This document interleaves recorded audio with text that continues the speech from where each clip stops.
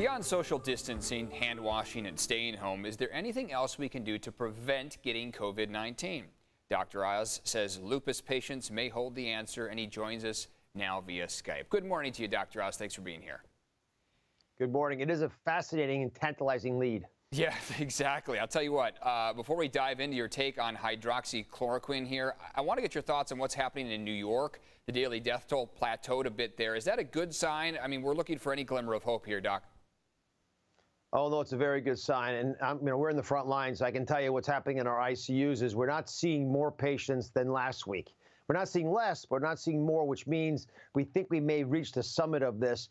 Uh, because we're having more success keeping people alive, there's more people in the ICU. So some of those numbers are misleading. We got to take a whole new class of patients this week. If we can get past this week without running out of some of the key uh, the products that we need, like ventilators, and I'm optimistic we will because we've been getting more and more of those from uh, the state and federal government, then I think next week we might have a stable week and then hopefully a decline after that. Let's talk about hydroxychloroquine. We've been hearing a lot about how promising this is to stop coronavirus from the president, and there has been those awkward moments between him and Dr. Fauci during their media briefings on the uh, effectiveness of this. But what are your thoughts on it?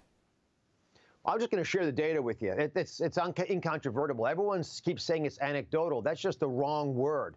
Anecdotal means, uh, you know, I tried it, it worked for me, maybe it might work for you. I talked to Didier Raoult, the famous French infectious disease specialist. He has a thousand patients now in his trial, case series patients that have been enrolled using hydroxychloroquine plus the antibiotic Z-Pak, with seven of those patients who were hospitalized dying and 20 going to the ICU. Those are pretty good numbers. And there's also a randomized trial, the gold standard version of how you look at this from China. It was small, but clinically significant and statistically significant, which means it's highly unlikely to be random chance. Less fever, less cough, and less pneumonia problems. So these are all things you want to see. I do, and most doctors in the world, this is their number one choice for medic uh, products you recommend. It's not proven. It also is very safe. I don't know where all these rumors started that it's not safe. You talk to the rheumatologists, and I have one of them on my show today, uh, talk, saying that we've used these drugs for decades, billion prescriptions probably around the world. It's just not a dangerous drug. There's no, there's not even a protocol to prescribe it because it's so safe when used by itself. So doctors should be talking to their patients without a lot of people interfering about the only real tool that most of us feel we can comfortably prescribe widely. As we get more ideas, it can be replaced. But in the meantime, you, you go to war with the army you have. You know, I read that French study, and I know that the sample size was small, but now these sampling sizes are getting much larger. Is that further proof that this could be something that works? I think so. When I spoke to uh, Dr. Elt, and yeah, this guy is world famous for a mm-hmm. bunch of his inventions. He's got pretty good instincts on this stuff.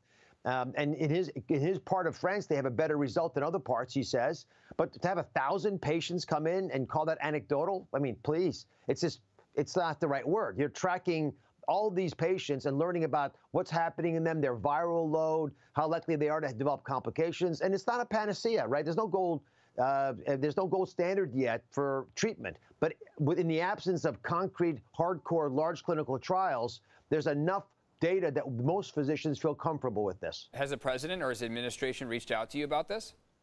No, I haven't been talking to them about. I mean, I'm trying. I'm focused on asking questions and making sure we find solutions. I'm sure they have lots of people advising them, and Dr. Fauci is iconic in our space. Right.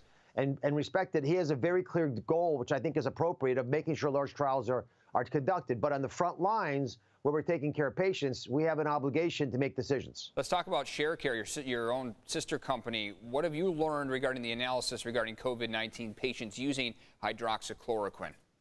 So part of the interesting observation the Chinese made was their patients who had lupus and therefore were on hydroxychloroquine as a medication to treat it weren't developing COVID-19. And likewise, the people who came to the hospital with COVID-19 didn't have lupus with hydroxychloroquine medication. So we've started, we've running data on large group blocks of data. We have four, uh, sorry, uh, 9 million Americans records now looked at.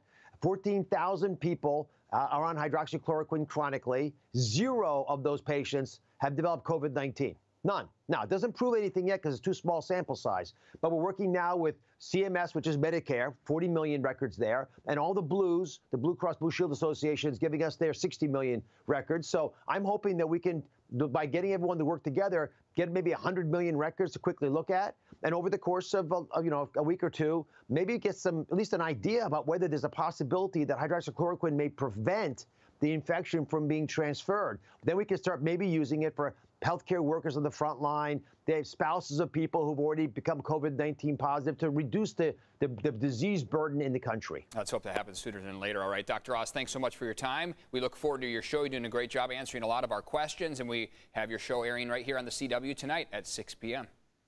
Take care. Thanks again for your time.